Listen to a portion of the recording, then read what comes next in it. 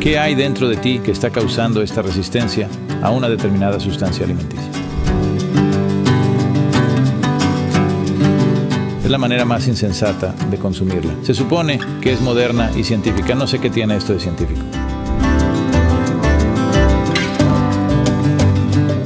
Hay muchas prácticas que podrían cambiar la dinámica del cuerpo de una manera que no creerás. Lo han hecho con millones de personas.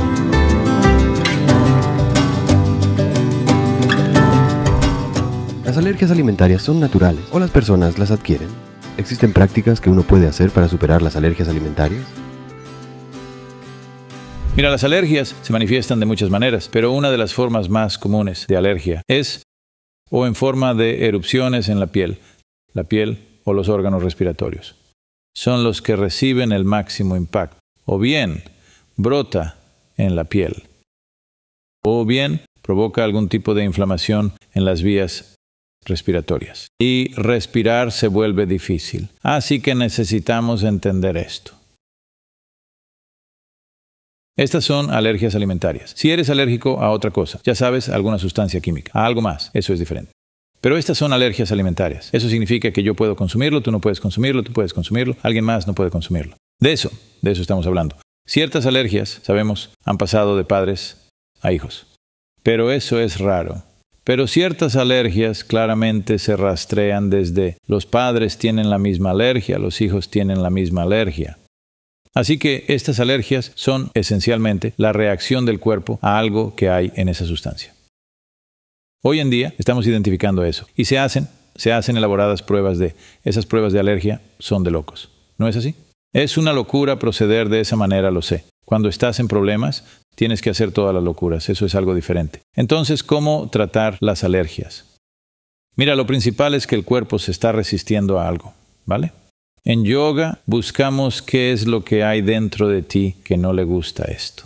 Mira, la diferencia entre el sistema alopático y este es que el sistema alopático busca cuál es la sustancia química en la comida que causa la alergia.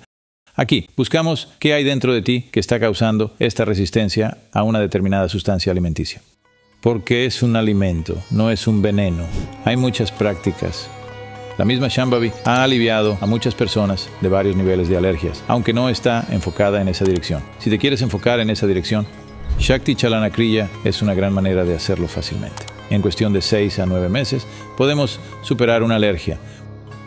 Una manera muy poderosa de hacer Kapalabhati puede resolver, yo diría, el 60% de los problemas. El 60% de las alergias en el mundo se pueden eliminar si se enseña un sistema adecuado de Kapalabhati Kapalabhati significa que tu energía debe calentar Kapala. Kapala significa esta parte del cráneo. Tu energía debe golpear el techo. Si haces Kapalabhati, solo la parte superior de la cabeza debe sudar. ¿Entiendes? Si haces Kapalabhati, solo esto, el sudor debe brotar de esto, ¿vale? Eso significa que estás haciendo Kapalabhati correctamente. Si haces Kapalabhati así, yo diría que el 60 o el 70% de tus alergias deben desaparecer definitivamente. De lo contrario, se pueden atender de manera específica. ¿Y qué hay de los niños que son alérgicos? Alergia a los padres, eso es muy normal.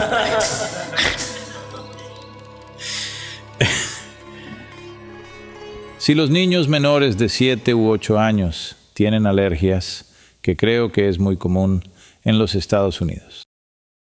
Y se está volviendo, se está volviendo bastante común en la India también. Si quieres vencer las alergias, lo primero es eliminar la leche de la dieta del niño. Puede que no sea alergia a la leche, pero ella está trayendo eso a su sistema de varias maneras.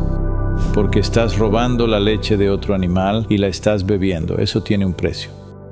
Solo, como máximo, hasta los dos años y medio o tres años de edad les puedes dar leche. Después de eso, ellos ya no necesitan leche de vaca para nada. Y ni siquiera estás bebiendo leche de vaca, no sabes qué tipo de leche estás tomando, porque es la leche de 10 millones de animales, todos mezclados, y eso estás bebiendo. Es simplemente una locura. Es la manera más insensata de consumirla. Se supone que es moderna y científica.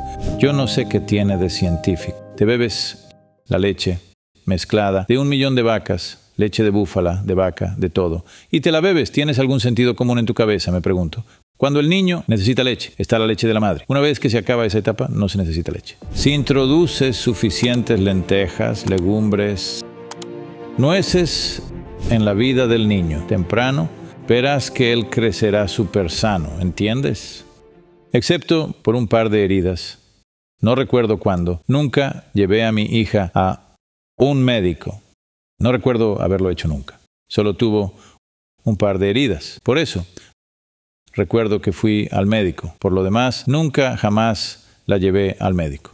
Porque la comida se gestionaba, eso es todo. Y a una edad temprana, si desarrollan una cierta afinidad hacia las frutas, y a esto y aquello, crecerán con eso. Y ellos, a ellos no les gustará la chatarra. Así que si las alergias tienen que desaparecer en los niños, una cosa es la leche. Otra cosa son los productos cárnicos. Si son demasiado alérgicos, si son ligeramente alérgicos, está bien.